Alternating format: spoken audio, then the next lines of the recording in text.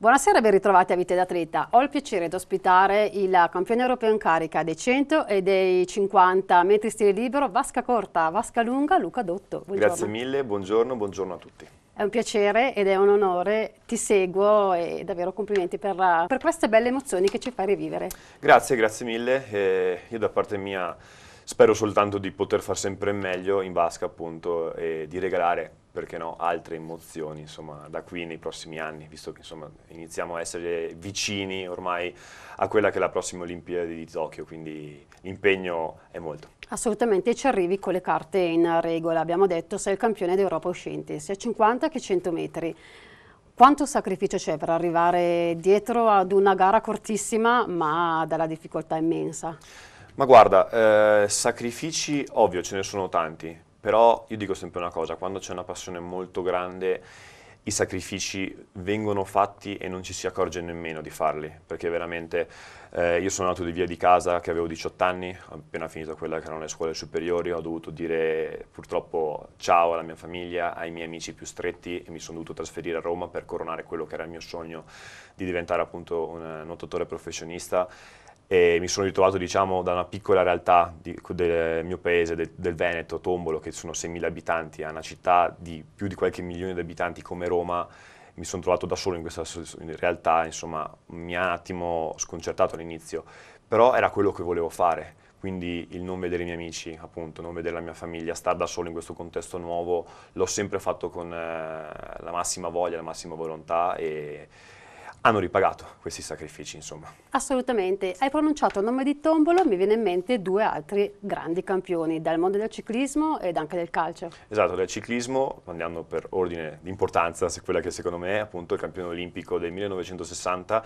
Beghetto, ciclismo a tandem se non, eh, se non sbaglio, e poi beh, una gloria del calcio, eh, ovvero Dino Baggio, appunto, eh, secondo nel mondiale nel 94 contro il Brasile, vincitore se non ero di tre coppe UEFA e insomma e io sono diciamo la terza gloria sportiva di questo piccolo paese che nonostante sia appunto piccolino si è ben difeso insomma negli ultimi anni nel mondo sportivo. Ti segue il tuo paese? Hai i tuoi supporter, i tuoi fans? Insomma ci sono? Sì, sì, sì, sì, sì. tutte le volte che comunque vinco delle medaglie importanti eh, sanno che passo per poco tempo, diciamo, durante quelle che sono le mie vacanze estive a casa, però cercano sempre di organizzare comunque una festa in comune per poter comunque mostrare anche ai cittadini, ai miei certo. concittadini, quelle che sono le mie medaglie, insomma, eh, ringraziarmi e poter anche io ringraziare loro, visto che insomma in tutti gli anni, da quando sono piccolino, mi hanno sempre seguito e sostenuto con eh, molto, molto ardore. Insomma. E beh, poi quando c'è un campione in un paese piccolo fa sì che il movimento si apra, continui ah, certo. e che magari anche i numeri nel nuoto crescano. Luca, hai cominciato sin da piccolino col nuoto? Sì, ho iniziato a 6 anni, 5-6 anni, ora non mi ricordo nemmeno di preciso perché sono passati veramente tanti anni. È stata mia mamma appunto a decidere di iscrivermi in piscina perché lei ha iniziato tardi a nuotare, aveva 30 anni, però fin da subito ha capito quella che era l'importanza di potersi difendere in quello che era l'elemento dell'acqua, appunto, l'importanza di saper nuotare fondamentalmente. Quindi anche per, in virtù del fatto che fondamentalmente ero abbastanza negato in tutti quanti quegli altri sport che normalmente i ragazzi fanno come calcio, basket e così. Ma se avevi solo 5 anni... No, Però già vedevi che non avevo, diciamo, un buon feeling con quella che poteva essere una palla, qualcosa che mi veniva incontro, diciamo. Ma invece nel nuoto ho subito dimostrato di avere quell'acquaticità naturale, innata, che invece molti non hanno, certo. perché fondamentalmente anche lì sono quelle abilità che non si sa fondamentalmente da dove vengono, è dono della natura. Ed è lì, diciamo, non è mh, scoccato diciamo, l'amore a prima vista tra me e il nuoto, perché all'inizio non mi piaceva, fondamentalmente parliamo di uno sport che è anche noioso, perché non c'è un gioco sotto, come gli altri che ho citato prima.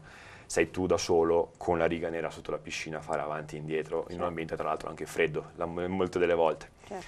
Però andando avanti con gli anni, chiaramente eh, diventando sempre più forte, poi l'amore è scoccato e mi ritrovo ancora qui a 28 anni, sono uno dei più ormai anziani della nazionale e non ho proprio voglia di smettere. Assolutamente, guai a te. no, no. Mamma Guglielmina che comunque ti segue tuttora. È la tua allenatrice? No, no, no. è, diventata, è, diventata, allenatrice, tra l'altro qualche anno fa, di un gruppo di preagonismo di bimbi e tutti quanti appunto perché godeva un pochino anche di, di un nome perché insomma la mamma di Luca Dotto. Insomma. Tutti quanti si aspettavano molto. E adesso appunto istruttrice di nuoto ha lasciato quella che è la parte agonistica perché aveva un po' troppe di pressioni da questo punto di vista. Però in, lei insieme a mio papà Fabrizio mi hanno proprio... Eh, insegnato quello che è l'amore per l'acqua, mi hanno trasmesso quello che è comunque l'amore per l'acqua, perché anche mio papà eh, è subacqueo, gli piace fare apnea, sub, poi è sempre stato comunque in mezzo all'acqua con windsurf, ah, okay. surf onda, così, quindi in, entrambi hanno fatto sì che poi crescessi come un malato di quello che è l'acqua e del mondo generale anche marino. Hai fratelli o sorelle? Sono figlio unico. Quindi piccolo di casa, niente, l'hai detto tu, una famiglia di acquatici. Esatto. Ed eccoti qua. Quindi la tua trafila nelle, mm, eh, nel club, presumo, del paese eh, fino a una certa età, fino ai 18 anni? Fino ai 18 anni, 18. appunto. Io sono cresciuto in quella che è la piscina del paese confinante, Tombolo. Tombolo non ha la piscina, ma Cittadella, il okay. paese confinante, uh, dispone di ottimi impianti e soprattutto anche di un'ottima scuola, perché stiamo sempre parlando di una zona che fa con tutti quanti i vari paesi confinanti, circa neanche 20.000 abitanti, però da questa piscina piccolina eh, siamo già stati in tre capaci di fare le Olimpiadi. Mario Simonetto, le Olimpiadi del Pechino 2008, io 2012-2016 e Andrea Tognato eh, insieme a me nel 2016. Ah. Quindi la scuola è molto buona eh, nella nostra zona, appunto zona centrale del Veneto. Però eh, a 18 anni ho dovuto fare la scelta di diventare professionista e per poterlo fare eh, sono dovuto, diciamo, mi sono dovuto Emigrare. trasferire, sono dovuto andare a Roma, chiamato anche da quello che è tuttora il mio allenatore Claudio Rossetto, che all'epoca era l'allenatore di Magnini, di Filippo Magnini certo. appunto, che era campione del mondo in carica nei 100 stile libero, la gara appunto che pratico io, quindi assolutamente è stata una grandissima opportunità per me e non me la sono voluta far sfuggire perché da piccolino che ero iniziavo un pochino a capire come andava a finire il mondo delle gare tutto quanto avere la possibilità di allenarmi con una persona come Filippo, di un atleta vincente come Filippo, lo vedevo come un'opportunità di crescita incredibile e infatti mi ha insegnato molto e se sono qua ora con eh, le mie medaglie, le mie vittorie comunque lo devo anche a Filippo. A lui hai dedicato, se non sbaglio, il tuo oro sui 100 metri battendo il suo record esatto. europeo, uh, il primo uomo a scendere sotto i 48 secondi. Esatto, in vasca lunga. Che emozione. Eh, quella è stata l'emozione mia più grande della mia carriera che infatti molti mi fanno questa domanda, mi dicono sempre ma qual è la medaglia che preferisci da tutte quante e dico sempre il momento che preferisco nella mia carriera di nuotatore non ha una medaglia perché il record italiano l'ho fatto conquistando eh, diciamo una medaglia con la staffetta ai campionati italiani con la staffetta della Forestale all'epoca, ora siamo in di Carabinieri, certo. e lì appunto ho guidato la staffetta con eh, il primo tempo di, di 47-94 e eh, lì è stato il momento più bello, anche perché avevo sì vinto in passato, però ehm, avevo quel pallino di essere il primo a scendere sotto i 48 secondi certo. nei 100 stile certo. libero, che sta anche a indicare fondamentalmente quello che è l'ingresso nell'elite del nuoto mondiale per quanto riguarda questa gara quindi è stato un momento veramente bello che spero di poter poi eh, ripetere insomma, in questi prossimi anni di carriera che ho davanti perché è veramente qualcosa di eccezionale. Insomma. Quindi dicevamo 18 anni, catapultato a Roma e l'inizio di una nuova vita. Tra l'altro pochi anni dopo sei anche stato arruolato nell'allora Corpo Forestale, adesso Carabinieri, quindi sei diventato sì, veramente un professionista a tutti gli effetti. Esatto, esatto. Roma è una città come appunto molto diversa da quello che era il mio paesino, Tombolo, chiaramente. Tombolo non è neanche un quartiere di Roma, paragonato. E non è stato facilissimo all'inizio perché chiaramente eh, ti distrae molto quello che è l'ambiente della città, perché ti viene da uscire, ti viene da andare a fare gli aperitivi, tutte queste cose qua, no? Però eh, dopo qualche settimana di una vita diciamo un po' rocambolesca, nonostante ero abbastanza piccolino, ecco, ho deciso, anzi ho capito che non doveva essere quella la mia vita in città, ma doveva essere la vita dello sportivo professionista. Quindi ho iniziato comunque a seguire un stile di vita molto più rigido, chiaramente, però insomma non mi manca, non mi manca per niente andare a fare aperitivi ogni sera o andare a ballare il venerdì o il sabato come fanno di, solitamente i ragazzi della mia età che magari studiano o lavorano, fanno un lavoro normale, certo. perché appunto il mio sì, un lavoro, tra virgolette, come dico sempre io, che però richiede l'utilizzo del mio corpo, quindi ogni giorno fondamentalmente devo presentarmi in piscina in palestra eh, ed essere in grado certo. di portare a termine quelli che sono gli allenamenti. Luca, un tuo corpo che ti ha portato anche sulle passerelle, sei stato un testimonial del più grande marchio di, di moda in Italia e nel mondo e adesso anche testimonial non solo di moda ma anche di sport. Bisogna essere sempre in forma. Ah beh, sicuro, anche perché lì appena si ingrassa di un grammo eh, non si vede più quello che è l'addominale, te lo fanno subito notare e te lo fanno pesare durante i shooting fotografici. Però per fortuna insomma eh, nuotando è uno degli sport secondo me più duri, che comunque ti fa bruciare più calorie in assoluto, quindi certo. siamo tutti quanti belli asciutti e definiti, no? E poi insomma, Beh, per poi... me è stato un bel onore, diciamo, essere stato scelto dal signore, dal re, insomma, Giorgio Armani, per poter certo. insomma usare quello che è il mio viso, il mio corpo per quelle che sono le sue pubblicità, ho, potuto, ho avuto l'opportunità di conoscere un mondo che da sportivo normale fondamentalmente non avrei mai potuto uh, avere la possibilità di conoscere in molti anche altri sportivi che hanno anche magari vinto più di me non hanno avuto questa possibilità quindi sono perennemente grato al signor Armani di, quella, di questa opportunità che mi ha dato e anche perché ho fatto delle esperienze veramente bellissime nell'arco degli anni di collaborazione che abbiamo avuto. Ti piacerebbe poi continuare un domani magari? Uh, ti dirò no è un mondo bello, mi è piaciuto, divertente, però non mi vedo, non mi vedo in quel mondo. E mi vedo comunque sempre legato a quello che è il mondo dello sport.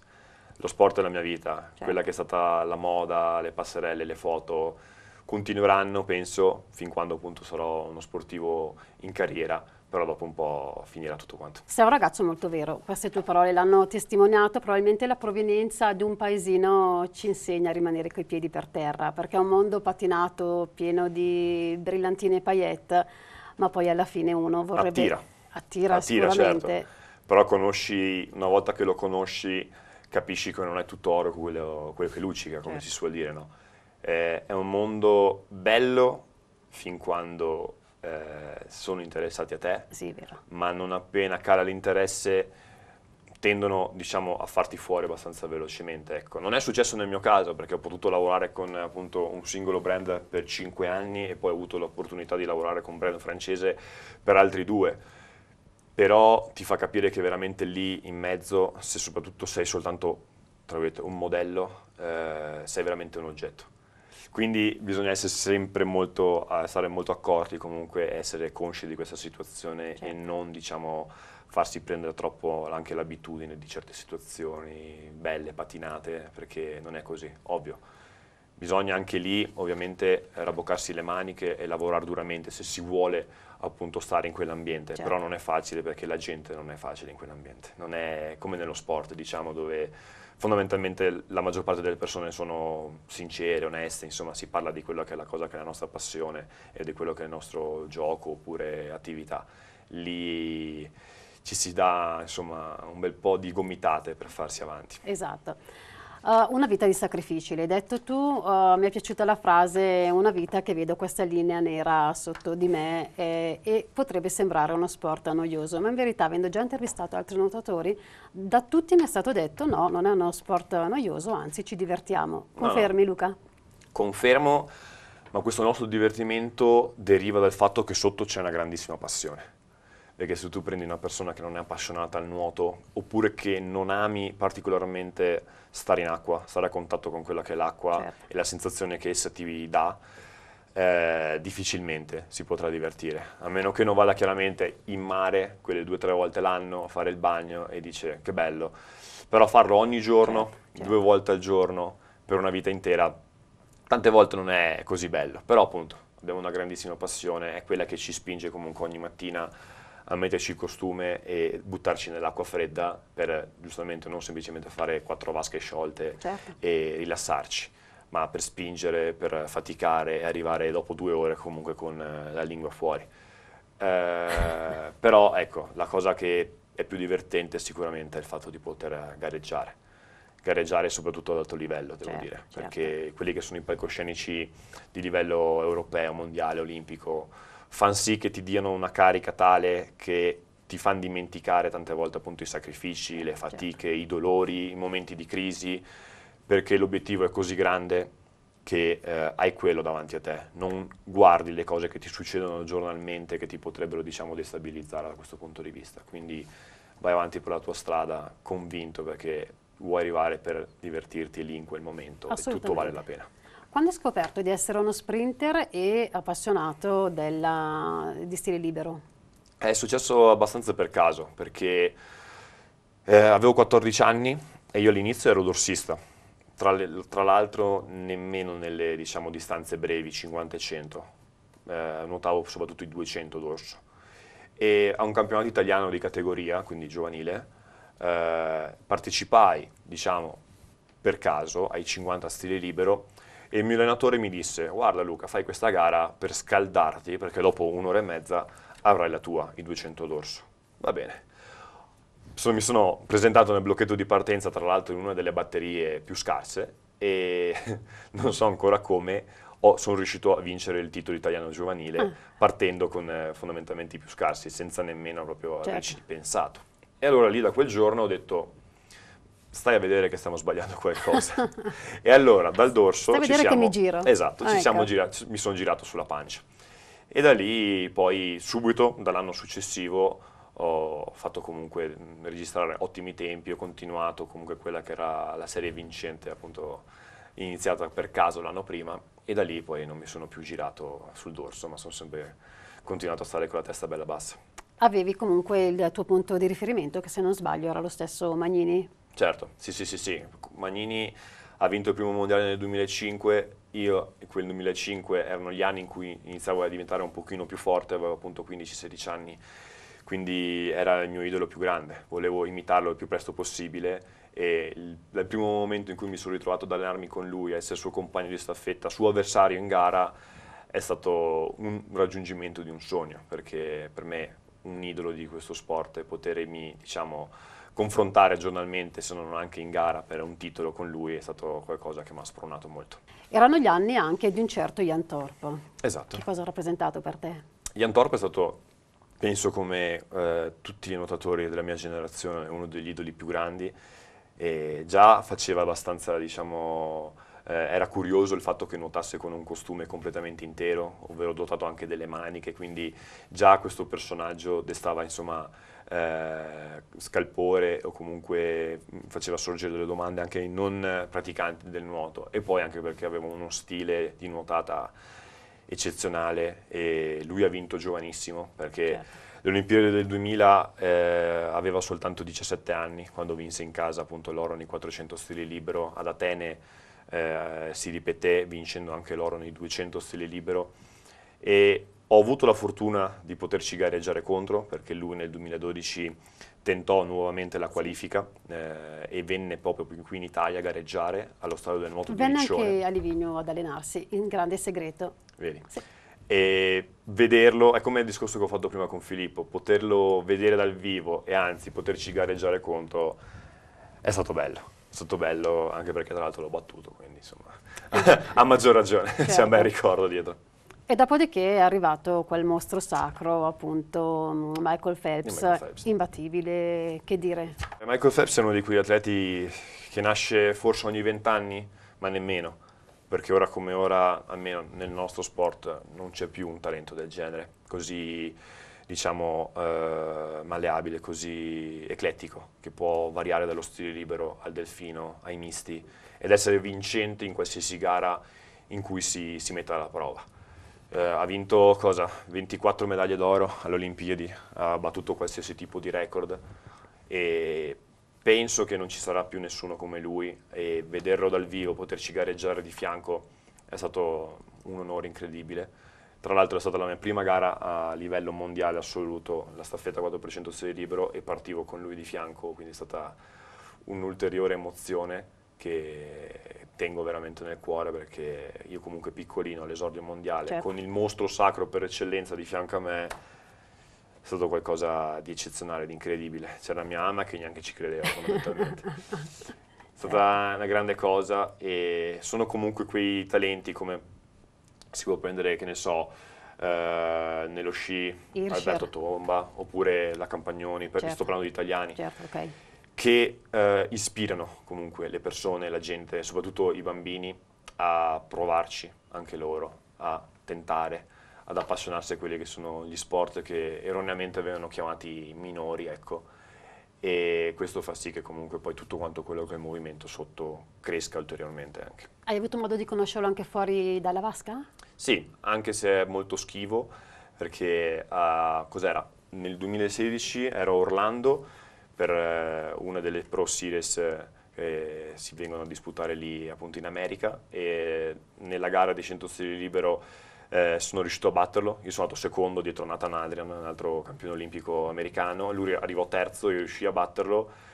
E la cosa che mi ha sorpreso è che quel giorno in una gara che fondamentalmente non contava niente, lui è venuto a congratularsi con me e con Nathan Adrian, però con Nathan Adrian fondamentalmente si conoscono, sono Certo. compagni nazionali da un sacco Certo. di anni, io fondamentalmente a meno che non si fosse ricordato del 2011 di quando gli partivo di fianco in staffetta nel mondiale di- in Cina, eh, era difficile che si ricordasse di me, però è venuto da me e mi ha dato il 5 e mi ha detto good job, e, capito, ma anche una cosa sì, veloce. Certo. E poi ho avuto la possibilità di rincontrarlo negli studi, negli studi RAI per una trasmissione e allora lì gli ho ricordato quell'avvenimento e lui se ne è ricordato, allora abbiamo un po' chiacchierato, lui era- aveva già smesso perché era dopo l'Olimpiade Certo. del 2016 e allora gli chiedevo com'era la vita diciamo post natatoria. E si è messo a gareggiare contro gli squali. Esatto. Lo faresti anche tu, questa sfida? ma- ma guarda, gareggiare no, perché tanto è impossibile battere uno squalo. e Per Eh. noi umani è impossibile battere anche il più piccolo dei pesci. Eh, In sì. acqua sono loro che comandano. Però ho avuto la fortuna e la possibilità di fare, diciamo, diving, di fare immersioni in giro per il mondo, perché appunto è una delle eh, passioni di mio padre. Perciò ho- ne ho visti, insomma, di pesci belli grandi, tra di anche gli squali, e sono uno tra i miei animali preferiti, tra l'altro. Quindi tanta roba.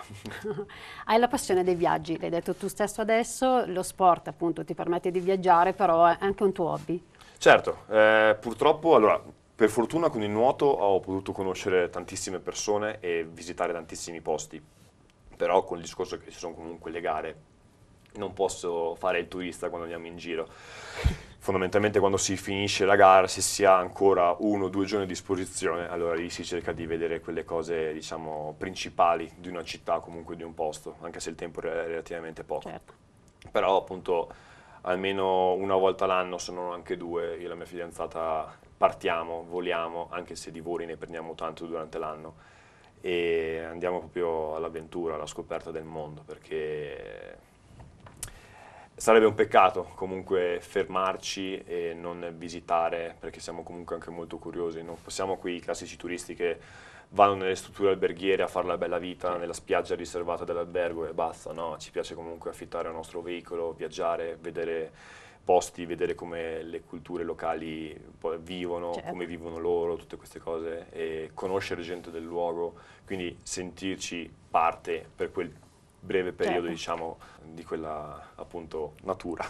Qual è il luogo più bello che hai visitato? Quello che ti è rimasto più nel cuore? Ma allora, eh, uno dei luoghi miei preferiti non è fuori dall'Italia ed è, sono le Dolomiti. Sono le Dolomiti, sono le tre cime di Lavaredo. Mm, Ci sono ritornato anche quest'estate, appunto ho portato Rossella che non l'aveva mai vista la mia fidanzata e non stancano mai le Dolomiti fondamentalmente. Poi però eh, sono un tipo più da mare, ecco, diciamo, e ho avuto la possibilità di visitare paesi come le Maldive, l'Indonesia, la Thailandia. Eh, quest'anno siamo stati in Africa, abbiamo fatto mm, una settimana a Zanzibar e una settimana in Tanzania, appunto, il safari per Certo. vedere appunto gli animali nel loro ambiente naturale. Però uno dei posti che preferisco in assoluto sono le Bahamas, che abbiamo visitato dopo le Olimpiadi di Rio ed è un posto che per la sua bellezza ma anche la sua tranquillità ci ha conquistato, perché è un posto che nonostante sia eh, diciamo, obiettivo del turismo di massa americano, eh, è rimasto comunque molto eh, diciamo, naturale, al di là di quelli che sono i grandi resort, quindi come dicevo prima, ci siamo affittati la nostra macchina, abbiamo visitato tutte quante le isole e hanno dei posti che sono incontaminati, che sembra di essere proprio fuori dal mondo ed è a detta di entrambi insomma, il nostro posto preferito. Parla al plurale e ti stai riferendo a Rossella Fiammingo, um, pluricampionessa del mondo di scherma esatto. ed anche argento a Ria, insomma medaglie in casa non ne mancano. No, lei è molto più forte di me a livello di palmarès. Quando vi vedete Luca? Eh, una bella domanda. E... Ci vediamo purtroppo nei weekend, dico purtroppo perché Solamente vorremmo purtroppo. vederci molto di più, però certo. lei si allena in Sicilia e io mi alleno a Roma. Lei viaggia molto più di me con, eh, con la scherma perché eh, come quello che accade nelle eh, discipline invernali c'è la Coppa del Mondo che è molto importante, quindi almeno 10 volte l'anno parte e va via e fa anche viaggi comunque abbastanza lunghi. Certo. Quindi siamo lì fondamentalmente a valutare quelli che sono i nostri calendari agonistici, vedere quelli che sono i buchi e cercare di incontrarci o lei da, da me a Roma oppure io vado in Sicilia oppure in qualche aeroporto certo. in giro per il mondo. Certo, ecco, non è certo. facile però ce la facciamo alla grande. Che dici, e poi siamo in conclusione, Rossella, sei considerato uno tra i più bei, belli d'Italia, sex symbol sportivo, io che ti ho davanti posso anche confermarlo, è gelosa? Sì, è gelosa, da buona siciliana, e... però sono geloso pure io perché anche lei certo. di sicuro non passa inosservato e no. anzi decisamente eh, passo io inosservato quando sono di fianco a lei perché è veramente bellissima, però insomma io non mi considero come hai detto te, è un sex symbol. So di non essere brutto, per carità, però non è, diciamo, una cosa di cui mi vanto, ecco. Fa piacere chiaramente essere apprezzati per il proprio aspetto fisico, è una cosa che aiuta. Eh, interessa di più a Rossella, chiaramente, perché essendo ragazza un eh, pochino più sì. vanitosa, eh, gli sì. piacciono quelli che sono i complimenti. Però ecco, gelosia sì, ma nel, nel modo giusto, insomma. Beh, comunque aggiungo anche, Luca, ok, sei bello, sei qua da vedere, ma sei veramente molto simpatico, questo sicuramente fa la differenza ed è proprio vero. Lo spero, insomma. e sei anche un ragazzo umile, sei proprio un bel personaggio. Siamo in conclusione, Grazie. che cosa vorrai fare da grande? Che cosa voglio fare da grande? L'astronauta, si dice ah, ecco, sempre, no? Eh, ci manca. no, purtroppo no, non ho, non ho abbastanza testa. e quello che piacerebbe comunque fare da grande è rimanere sempre nell'ambito sportivo e quello che è uno dei miei sogni non è allenare, di sicuro, e è quello di poter comunque stare a livello eh, manageriale all'interno dello sport, come manager appunto di quelle che sono atleti o società, e perché no anche come gestori di impianti, e, però comunque, come ho detto, sempre all'interno dello sport, sempre all'interno del nuoto. Certo. E poi comunque non eh, precludo nessun altro tipo di strada, insomma, penso di avere davanti a me molteplici strade aperte, perché comunque c'è anche il discorso da vedere nei prossimi anni di quello che può essere lo sviluppo con la televisione e quant'altro, insomma, posso fare un sacco di cose. Posso anche ritirarmi in Sicilia, aprire un ristorante, un bar a Taormina, cioè eh beh, nulla mi vieta di fare quello che voglio, per fortuna. Certo, certo. Che consiglio vuoi dare ai giovani? Ma ai giovani l'unico consiglio che mi sento di dare non è né tecnico né motivazionale, è semplicemente quello di divertirsi, veramente. Ed è soprattutto una cosa che cerco di ripetere tante volte ai genitori che me lo chiedono, che magari dicono, ah ma vedo mio figlio che va ad allenamento un po' controvoglia, alle gare ha paura, tutto quanto. Eh, la cosa importante quando si è bimbi è divertirsi, che poi che vinci, che perdi, non ha importanza. Certo importante che ti sia divertito. Io ho avuto la fortuna di avere i miei genitori appunto che non erano lì con il cronometro in mano a vedere se miglioravo di gara in gara, ma mi chiedevano semplicemente quando tornavo a casa ti sei divertito Luca? Sì, allora a posto. Non mi chiedevano cosa ero arrivato, quante bracciate avessi fatto durante la gara, eh, se il mio amico era nato più forte di me. Certo. Era quella la cosa importante che secondo me è stato quello il piccolo segreto che mi ha concesso di arrivare fino ad adesso, insomma, ad essere così competitivo. Dici poco, grazie davvero anche per il consiglio. Grazie, grazie a voi. Grazie Luca Dotto, davvero un grossissimo bocca al lupo. Crepi, grazie a voi e speriamo a, a breve, insomma, alla prossima. È tutto per questa sera, grazie per la cortese attenzione, vi rimando a mercoledì prossimo. Buona serata.